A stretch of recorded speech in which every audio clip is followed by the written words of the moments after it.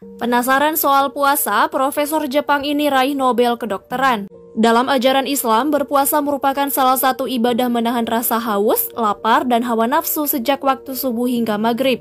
Ibadah berpuasa dipercaya tak hanya membawa kebaikan terhadap aspek rohani tetapi juga jasmani. Tak sekadar anggapan, peneliti asal Jepang Profesor Yoshinori Ohsumi membuktikan secara ilmiah bahwa puasa dapat membawa dampak baik bagi kesehatan. Peraih Nobel ini menemukan bahwa puasa berkaitan erat dengan autophagy. Autophagy merupakan istilah Yunani yang berarti memakan diri sendiri. Secara ilmiah, autophagy dikenal sebagai kemampuan sel dalam tubuh untuk memakan atau menghancurkan komponen tertentu di dalam sel itu sendiri. Dari temuan ini diketahui bahwa mekanisme autophagy tak hanya berdampak baik pada kondisi sel yang bersangkutan saja.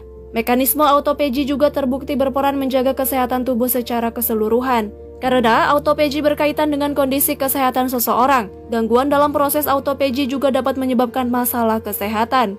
Beberapa masalah kesehatan yang berkaitan dengan terganggunya proses autophagy ialah diabetes tipe 2, kelainan saraf, kanker, dan berbagai penyakit yang berkaitan dengan usia.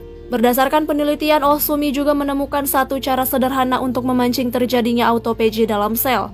Seperti dilansir dari laman resmi Bashinger Wilhelmi, cara sederhana tersebut ialah berpuasa.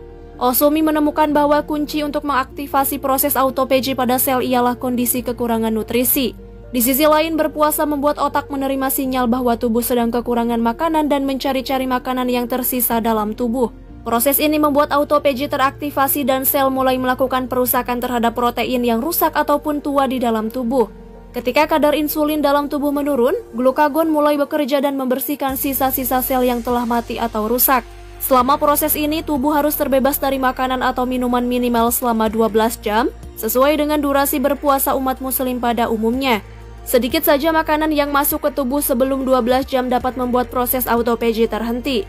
Seperti dilansir Saudi Gazette, manfaat dari ibadah berpuasa ini sebaiknya tak hanya dirasakan saat Ramadan saja.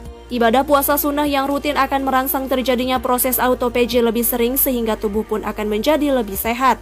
Berdasarkan temuan ini, Osumi berhasil memenangkan hadiah Nobel di bidang ilmu fisiologi atau kedokteran. Menurut New York Times, Osumi resmi menerima penghargaan bergengsi ini pada 3 November 2016.